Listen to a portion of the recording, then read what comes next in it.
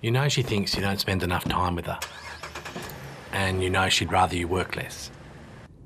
But can you afford to? Because you also know she'd like to redo the floors and the kitchen and go on a holiday